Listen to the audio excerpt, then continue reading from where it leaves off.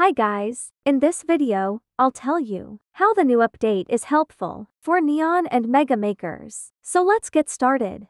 Adopt Me has just recently added a subscription that allows you to equip two pets. And I think that this update is so useful when creating neons or megas. Let me show you what I mean. Usually Neon and Mega makers have two of the same pet out, and they may have trouble when one of the pets had a task. This is because both of the pets are the same. Adopt Me changed this and show you the name of your pet instead. It no longer matters if you have two pets out, you won't get confused anymore. Don't forget to drop a like and subscribe for more. Can we get to 500 subscribers? Thank you. Bye guys.